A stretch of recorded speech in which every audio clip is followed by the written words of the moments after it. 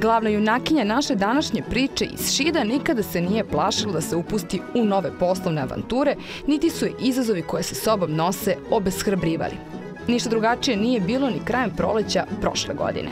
Onda kada se najmanje nadala u svega par kvadratnih metara kuhinskog prostora počela da stvara brend Ljuta Sremica i baš sve što je u tom trenutku trebalo ili preciznije rečeno šta je mogla da nađe, bilo je tačno 18 ljutih papričica i malo maštovitosti. A šta je rezultat tog miksa, reši smo odmah da probamo. Moja preporuka je uvek da se krene sa nečim što je i, i prvi proizvod koji je počela ljuta sremica da pravi. To je slatko od ljutih paprika koje je esencija svega. Znači ljuta paprika, šećer, limun, proizvod koji je najukusniji, koji je najjednostavniji za kombinovanje sa svim drugim. Sa čim ga uglavnom kombinujemo? Sa lepim grilovanim mesom najbolje. Sa lepim grilovanim pečurkama može, sa sa, sa svim što je sa grila. Prvi proizvod, slatko od ljutih papričica, gospođa Slavna predstavila je na Erdevičkoj kulenijadi 5. juna 2017. godine. Pozitivni utici bili su dovoljno motivišući da nastavi da eksperimentiše, a priroda je u toj avanturi povela dalje.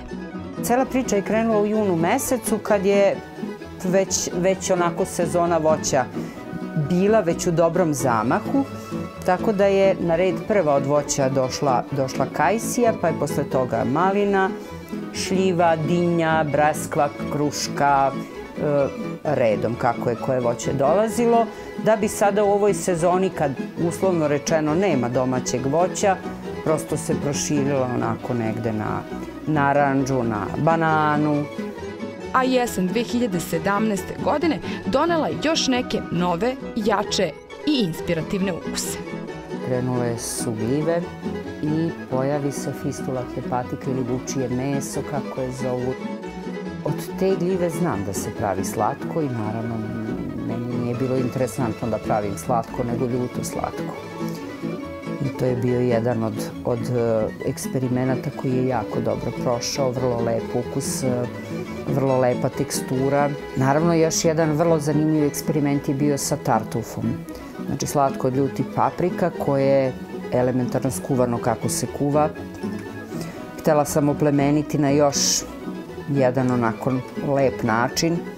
Odstranila sam mu šećer koji je kuvan i dodala bagremov med.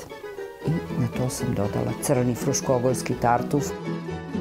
S obzirom da je baza svih delikatesa ljute sremice papričica, taj sastojak u njenoj kuhinji ne sme da nedostaje. Najveća sreća je bila kad je na, na pijacu stigla ljuta paprika iz domaće proizvodnje, koja se suši inače i, i ima tu intenzivnu crvenu boju i, i finu aromu i lepu ljutinu. Nažalost, taj period kratko traje i generalno taj deo je vezan za sezonu. Sve ostalo je van sezonski, zato se u tom nekom periodu, kad je sezona paprike, definitivno mora pripremiti dovoljna količina da bi za ostatak godine je bilo dovoljno. Ljuti džem od šljive ili pa kajsije svakako se ne može smatrati uobičajenim. Zato je na našoj domaćici važan zadatak da sa novom kombinacijom ukusa upozna nepca kupaca. Oni koji su uopšte voljni da probaju ovakav proizvod su svi oni koji nemaju predrasude šta se sa čim slaže. Najotvoreniji su za probu e, svega toga deca. Jer deca nemaju predrasudu i predstavu o tome da slatko i ljuto ne ide, da se sa, nešto sa nečim ne slaže. Oni probaju pa ili im se svidi ili ne. Uglavnom su im zanimljivi ukusi. Kako se ovi snažni džemovi odlično kombinuju uz vina i sireve i ljuta sremica redovno učestvuje na sajmovima koje ukupljaju ljubitelje ovih delikatesa, a ljubkom prezentacijom i teglicama njeno učešće je i tekako primećeno. A dok se njena poslovna priča zahuktava, ona željno iščekuje novo proleće, koje će doneti još voćnih ukusa. Zato za koji mesec možemo da očekujemo i, na primjer, ljute džemove od jagode i višnje. Idejama čini se nema kraja.